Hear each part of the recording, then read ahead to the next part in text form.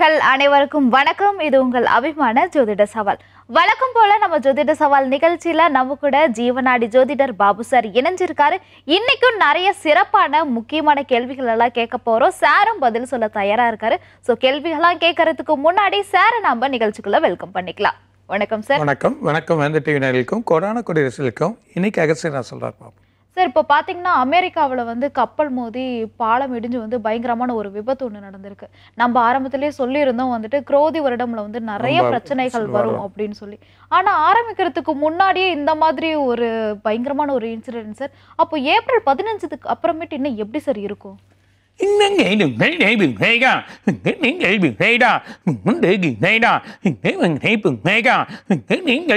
vấn đề đừng hết thế đó đừng hết tiếng kính đừng thế đó đừng hết sáng điện đừng hết thế đó đừng hết sáng điện đừng thế đó đừng hết tiếng kính đừng đừng đừng điện đừng thế điện đừng thế đó đừng hết nữa từng thế điện đừng thế đó đừng hết tự từng thế đó đừng hết tiếng kính đừng thế đó đừng hết tiếng kính đừng thế đó đừng hết nữa để tình kính đừng thế đừng thế đó đừng đến đừng hết điện đừng thế đó đừng hết nữa để từng thế đó đừng hết tiếng kính đừng thế đó đừng hết để đừng thế đó đừng hết nghĩa tiếng đừng nghĩa đừng hết biết இந்த குரோதியானது குரோதமான மக்கள் பார்க்கக்கூடிய எண்ணங்களாக இருக்கும். இந்த குரோதமான நிலைகள் ஏற்படக்கூடிய நிலைமைகள் இருக்கும். இந்த குரோதியான்றது அது இல்லாமல் மெயினாக குரு மறைகிற ரிஷபத்தில். ஸோ குருவோட பலம் போயிடுது. எந்த ஒரு ஜாதகத்துமே குருவோட பலம் இருக்கணும். டோட்டலாகவே ஒரு குருவோட பலம் போய் உட்காருது. சனியோட பலம் அதிகமாக பெறுது. ராகுவோட பலம் அதிகமாக பெறுது. ஸோ அந்த ரகு ராகுவோட சனியும் இல்லை ராகுவோட சேரக்கூடிய செவ்வாயோ இல்லை ரா சனியோட கூட சேரக்கூடிய செவ்வாயோ பலத்தை பெற சொல்ல பல இன்சிடென்ட்கள் ஏற்படுறதுக்கான வாய்ப்புகள் உண்டு. அதுவும் செவ்வாய் இப்போ சனியோட இருக்கார். அதே செவ்வாய் ராகு போய் உட்காரார் அந்த ராகுல உட்கார சொல்ல பார்த்தீங்கன்னா மே மாதத்தில் மிகப்பெரிய இன்சிடெண்ட்லாம் ஏற்படுறதுக்கான வாய்ப்புகள் உண்டு. ரெண்டாவது வந்து நடுமதியில் இது வரைக்கும் பார்க்காத எர்த்குயிக் நமக்கு வர வழியில இருக்குது அது இல்லாமல் இந்தியாவிலே எர்த்குயிக் ஏற்படுறதுக்கான வாய்ப்பு உண்டு. அந்த தகவல் மையத்தோட வழியில் கண்டிப்பாக அதெல்லாம் சொல்லுவாங்க. நடுமத்தியில் அதாவது இந்தியாவோட நடுமத்தி அதாவது இந்தியாவோட நடுமத்தியாக இருக்கக்கூடிய இடத்துல மிகப்பெரிய எர்த்குயிக் ஒன்று ஃபார்ம் ஆகின்னு இருக்குது அது மூலிமா நார்த்லேயும் வரலாம். சென்னை தமிழ்நாடு அந்த இடத்துலலாம் சில உணரப்படும். ஆனால் ரெண்டு முஸ்லீம்ஸ் கண்ட்ரியில் மிகப்பெரிய எர்த்குயிக் ஆகக்கூடிய நிலைமையை நம்ம பார்க்க போகிறோம் அந்த சுச்சுவேஷன் ஏற்படுறது அது மக்கள் ரொம்ப கவனத்தோடு இருந்து அதுக்கான வழி பண்ணுறது ஒரு பெரிய பலன் கிடைக்கும். அதனால் மக்களுக்கு ஆபத்து இல்லை பட் அதர் கண்ட்ரியில் ஆபத்து இருக்குது அது இல்லாமல் வெளிநாட்டில் அமெரிக்கா இருக்கலாம் இல்லைன்னா ரஷ்யா இருக்கலாம். அதுக்கு இருக்கக்கூடிய அதிபர்கள் சில பிரச்சனை ஆகிறதுக்கான வாய்ப்பு உண்டு. அது மூலிமா சில குழப்பங்கள் ஏற்படலாம். ஒரு அதிபர் ரஷ்யா இருக்குது அவருக்கு உடலோட பிரச்சனைகள் ஏற்படுறதுக்கான வாய்ப்புகள் ரொம்ப அதிகமாக இருக்குது அதே நேரத்தில் உங்களுக்கு வந்து இந்த ஜப்பான் இந்தோனேஷியா இதில் இருக்கக்கூடிய இடத்துல எல்லாம் மிகப்பெரிய பிரச்சனைகள் ஏற்படும். அது இல்லாமல் இது வரைக்கும் பார்க்காத வேல்கனவை நம்ம பார்ப்போம். இது வரைக்கும் பார்க்காத வேல்கனம் எரிமலையை நம்ம பார்க்கக்கூடிய தன்மை இருக்குது ரெண்டு இடத்துல அது ரொம்ப காலம் அதாவது ரொம்ப காலமாக வராமல் இருந்திருக்கும். ரொம்ப காலமாக வராமல் இருக்கக்கூடிய நிலைமை இந்த தடவை திடீர்னு அது வந்து எழும்பி ஒரு ஆறு பிழம்பு போல் போகக்கூடிய நிலைமையை நம்ம பார்க்க போகிறோம் அது இல்லாமல் மழை. அமெரிக்காவில் ரெண்டு மாநிலம் மிகப்பெரிய மாநில மழை வெள்ளத்தால் பாதிக்கப்படக்கூடிய நிலைமை ஏற்பட போகுது இந்த குரோதி ஆண்டில் அது இல்லாமல் இந்தியாவிலும் சில தலைவர்கள் சில ஆட்கள் பாதுகாப்பாக இருக்கிறது நல்லது. பாதுகாப்போட குரோதி ஆண்டில் வந்து உடல் பிரச்சனையை ஏற்படுத்தும். ஸோ உடல் வியாதிகள் உடலோட வழிகள் சில அரசியல் தலைவர்களாக இருக்கவங்க சிலருக்கு வந்து ஹாஸ்பிட்டலில் போயிட்டு வரக்கூடிய ஒரு நிலைமை ஏற்படுறதுக்கான வாய்ப்புகள் ஏற்படுறதுக்கான வாய்ப்புகள் கண்டிப்பாக இருக்குது அப்படின்னு சொல்கிறார் அது இல்லாமல் சென்னையிலையும் சில மழைகள் அதாவது இந்த மே மாதத்துக்குள்ளே சில மழைகள் நமக்கு ஏற்பட்டாலும் இந்த வருஷம் அதிகபட்சமான மழை நவம்பர் மாதம் எண்ட்லேருந்து டிசம்பர் பத்தாம் தேதிக்குள்ளே மிகப்பெரிய மழை ஒன்று காத்திருக்கிறத நம்ம பார்த்துருக்கோம். அந்த நிலைமையை நம்ம கேர்ஃபுல்லாக இருக்கணும். அதனால் இந்த குரோதி எதிர்பார்த்த நிலைமை இருக்காது. குரு மறைஸ்தானத்துக்கு போகிறார் மறைஸ்தானத்துக்கு போகிறப்பவே யாரும் எதிர்பார்த்த ஒரு நிலைமை இருக்காது. ஆனால் பூமிக்காரனுக்கு வந்து வழியாக இருக்கப்போ பூமிக்குன்னு ஒரு ஜாதகம் இருக்கும். அந்த பூமிக்குன்னு ஒரு ஜாதகத்தை எடுத்து நம்ம வழி பண்ணோம்னா அந்த ஜாதகத்தோட நிலைமை பார்க்குறப்போ எதிர்பார்த்த நன்மைகள் வராது. அதே நேரத்தில் மக்கள் கவனத்தோடு இருக்கணும். எந்த ஒரு பொருளையும் பணத்தையும் இன்வெஸ்ட் பண்ணாதீங்க. ஆனால் கோல்டு. எதிர்பார்க்காத அளவு கோல்டு. இது வரைக்கும் காணாத வரலாறு காணாத அளவுக்கு ஏறி ஒரு இடத்துல போய் கொஞ்சம் குறைஞ்சி திரும்ப ஏறக்கூடிய நிலமை இருக்குது இப்போ காலகட்டத்தில் கொஞ்சம் ஏறும். திரும்பி ஒரு இடத்துல கொஞ்சம் குறையும் ஆனால் கோல்டை நம்பி இருக்கலாம். கோல்டோட வழிகள் ஏறும். அதெல்லாம் வெள்ளியை நம்பி இருங்க. வெள்ளி நிறைய வழிகள் ஏறக்கூடிய நிலைமைகள் இந்த குரோதி ஆண்டில் இருக்குது இருந்தாலும் குரு மறையக்கூடிய தன்மையாக இருக்கிறதுனால சில இடத்துல வீழ்ச்சிகள் வரத்துக்கு வாய்ப்பு உண்டு. அதேமாதிரி தான் ஷேர் மார்க்கெட் இப்போ கொஞ்சம் வழியாக இருக்கலாம். அடுத்த மாதத்துலேருந்து வலுவாந்தாலும் ஜூன் மாதத்தில் ஷேர் மார்க்கெட்டை அடிக்க முடியாது. இந்தியா எக்கனாமியோட லெவலில் மாறும். ஆனால் சயின்டிஃபிக் ரீதியாக நிறைய மாற்றங்கள் வரப்போகுது உலகத்துக்கு. சயின்டிஃபிக் ரீதியாக நிறைய மாற்றங்கள். செல்ஃபோன் மாறும் புது செல்ஃபோன் வரும் டெக்னாலஜிஸ் வரும். டெக்னாலஜிஸை பா பேசக்கூடிய தன்மை பெரிய அட்வான்ஸாக போயிடும். அந்த மாதிரி விட அது மாதிரியா சாட் ஜிபிடி போல் பெரிய டெவலப்மெண்ட் வரக்கூடிய நிலமை இந்த இதில் இருக்குது இந்தியாவில் நிறைய மனுஃபேக்சரிங் ஆலயங்கள் வரத்துக்கு வாய்ப்புகள் உண்டு. அது இல்லாமல் சில இடத்துல குழப்பங்கள் மக்கள் ஆர்ப்பாட்டங்கள் ஏற்படும்.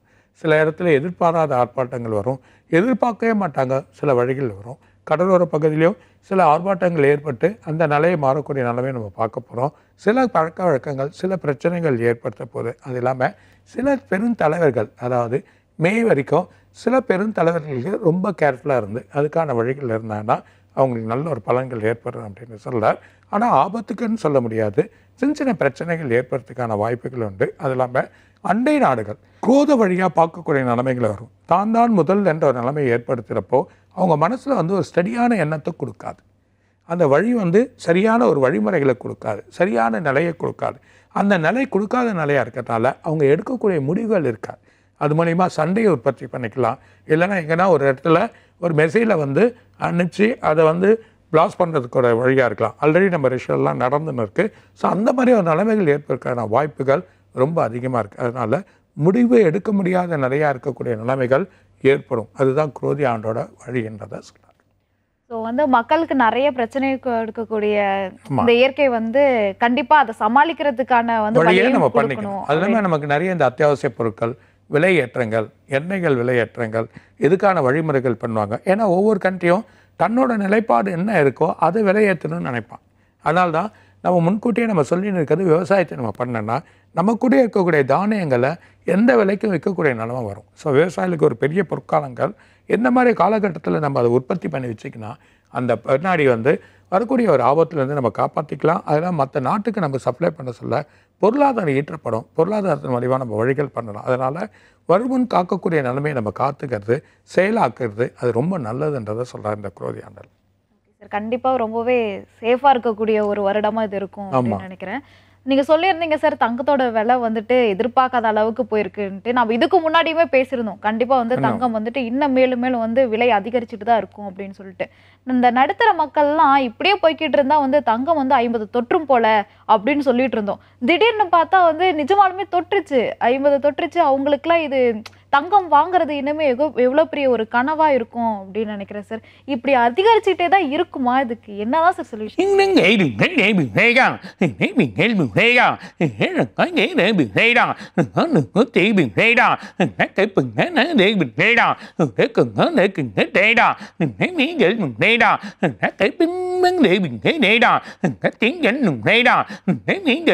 தேவா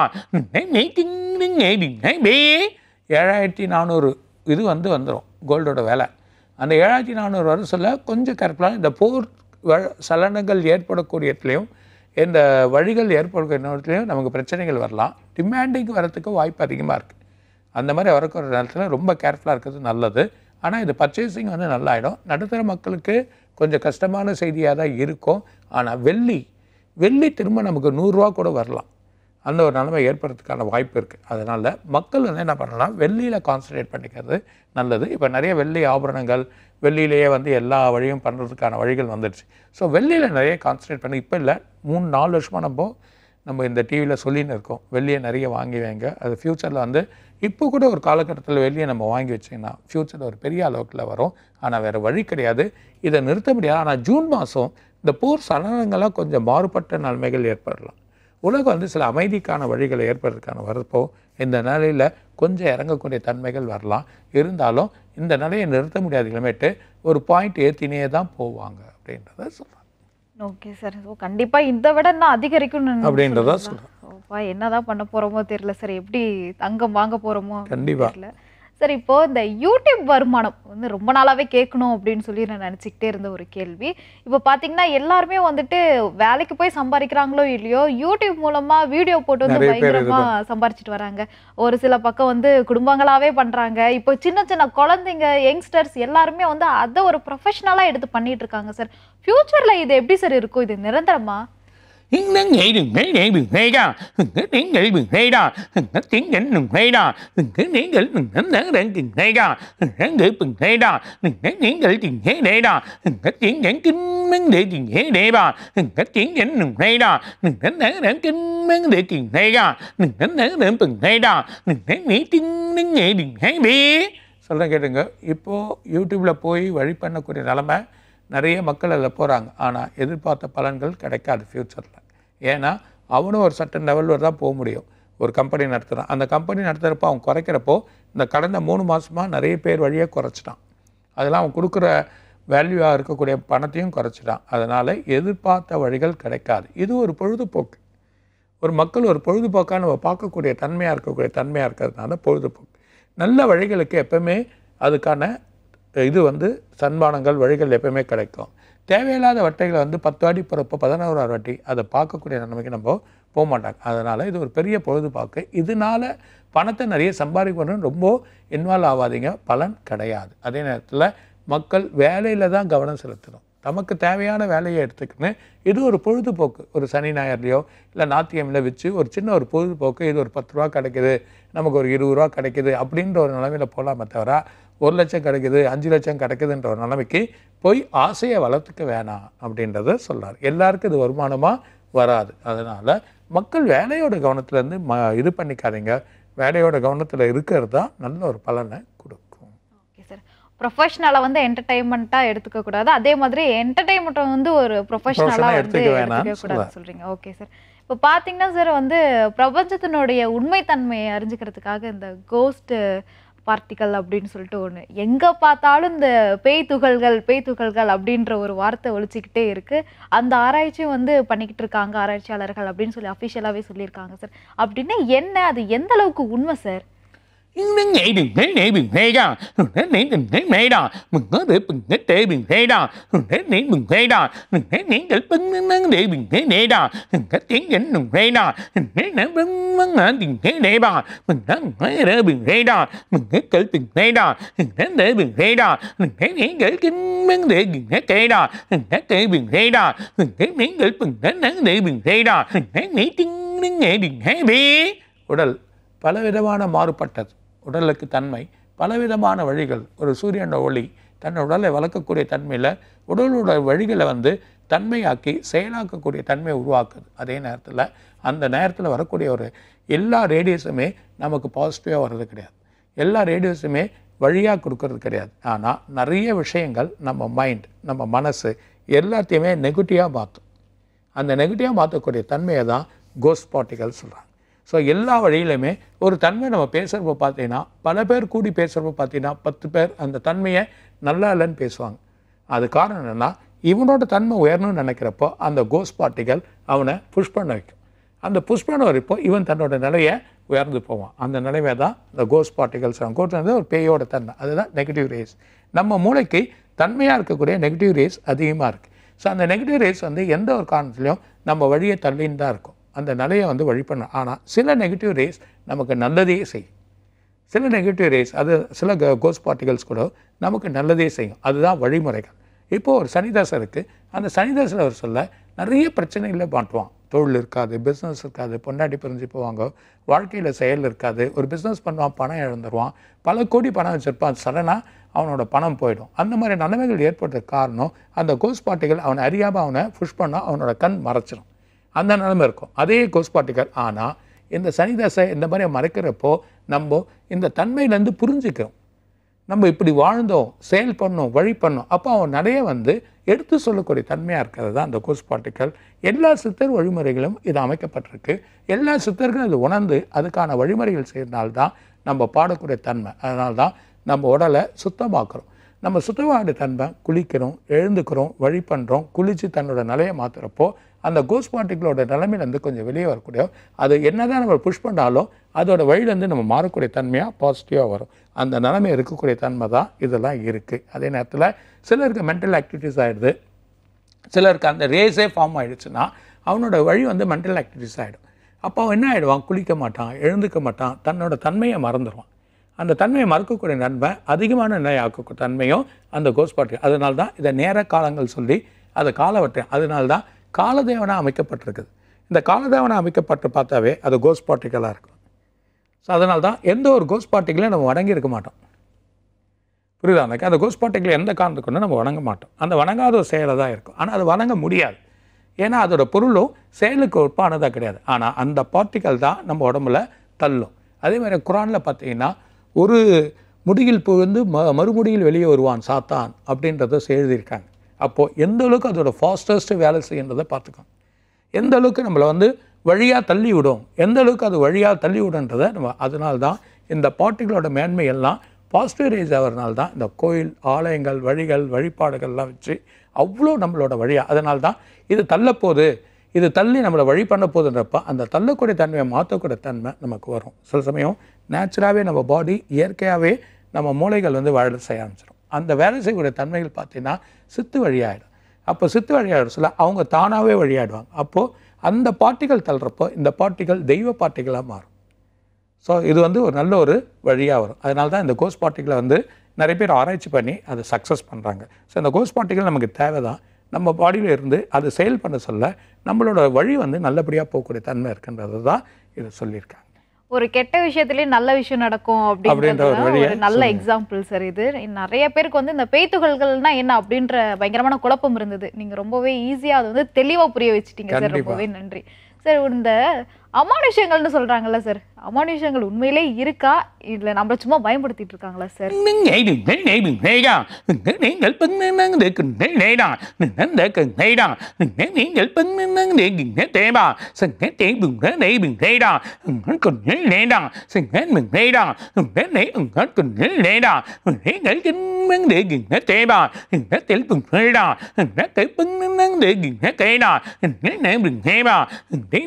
நீங்கள் நீங்கள் thằng சங்க தேபும் தேபும் để từng நேடா சங்க நேடா வெண்ணை உங்கள் கொண்டில் நேடா நீங்கள் கிண்மங் தேகிங்க தேவா கண்டிப்பாக அமானுஷன்றது தான் இன்றைக்கி உலகத்தில் எல்லா இடத்துலையும் நடந்திருக்கு அந்த அமானுஷனை பற்றி தான் தெய்வ பலமே வரும்.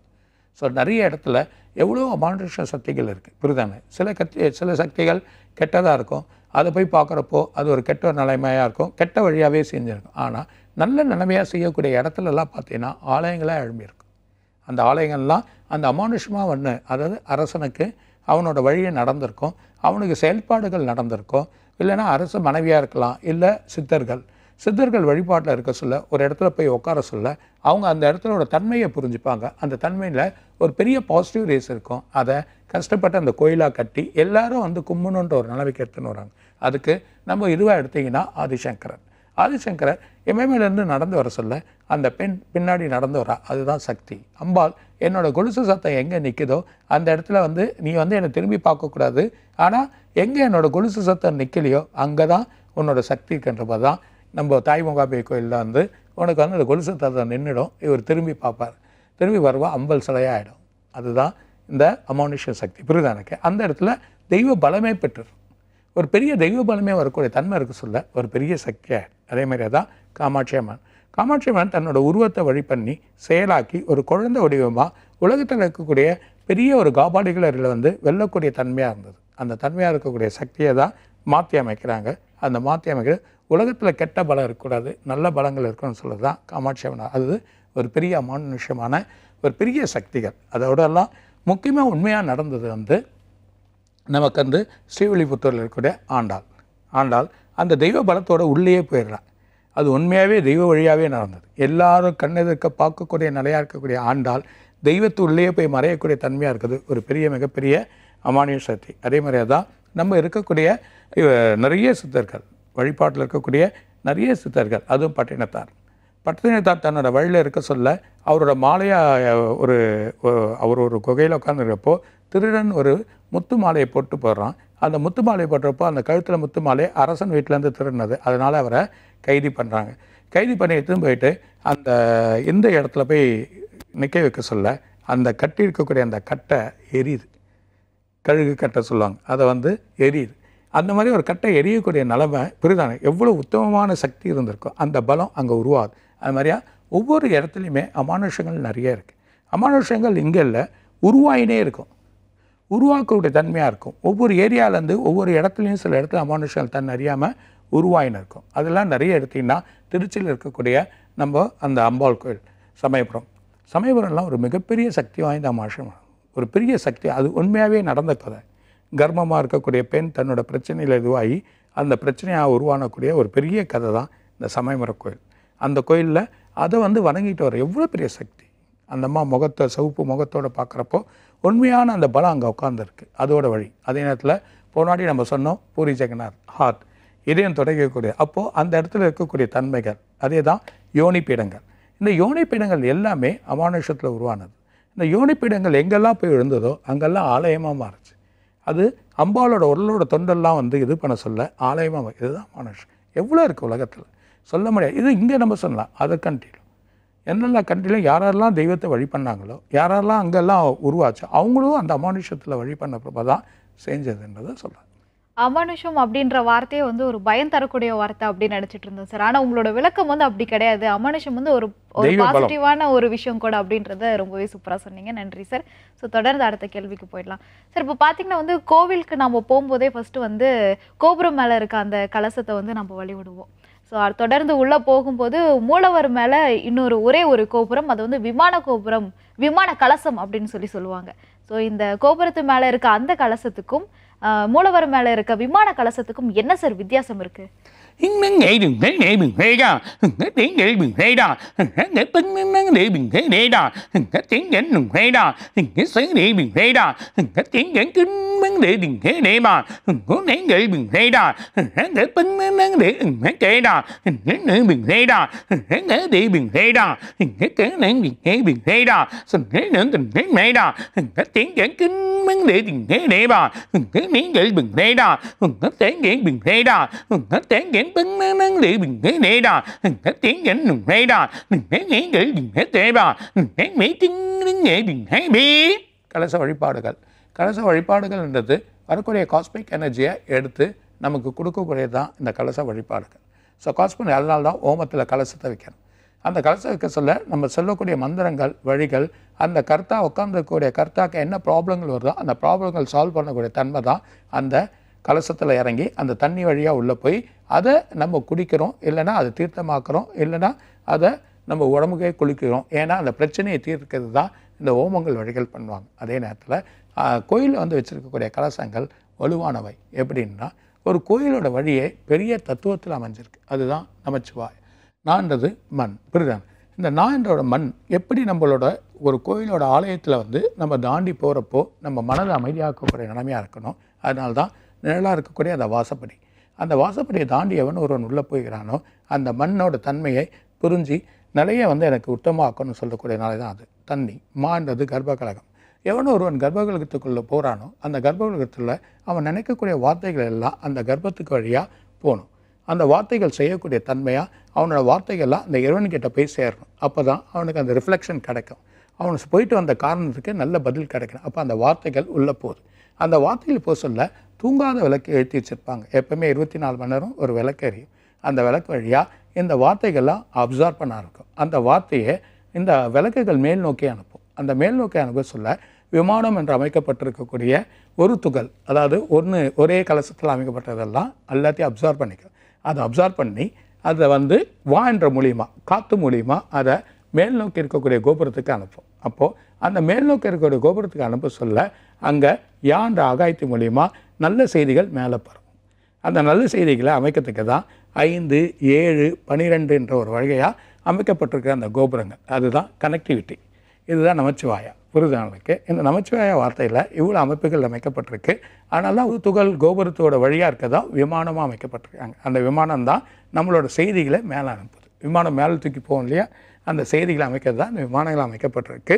அந்த மேலே இருக்க கோபுரம் அமைக்கப்பட்டது தான் இறை வழியாக போகக்கூடிய தன்மையாக அமைக்கப்பட்டிருக்கு. அதை யாகாயத்தை போய் சேர்ந்து உடம்புல வந்து காஸ்மிக் எனர்ஜி நல்ல ரேஸாக வந்த வந்தவங்க அத்தனை பேருக்கு நல்லது நடக்கணும். அதே மாதிரி கெட்ட எண்ணங்களுக்கெல்லாம் அந்த பெரிய கோபுரத்திலே ஃபில்டர் ஆகிடும் அந்த எண்ணங்கள்லாம் அங்கே ஃபில்டர் ஆகி போயிடுது. அதனால சில கோயில் போயிட்டு வர சொல்ல பிரச்சனையாகவும் சில கோயில் போயிட்டு வர சொல்ல நல்லது நடக்குன்ற ஒரு தன்மையும் அமைக்கப்பட்டிருக்கிறத சொல்கிறாங்க கோவிலுடைய கோபுரம் பத்தியும் கலசம் பத்தியும் ரொம்பவே சூப்பரான ஒரு விளக்கம் கொடுத்திருந்தீங்க. சார் அது மட்டும் இல்லாம கேட்ட அனைத்து கேள்விகளுமே வழக்கம் போல ரொம்பவே சூப்பரான ஒரு பதில் கொடுத்திருந்தீங்க. ரொம்பவே நன்றி சார்.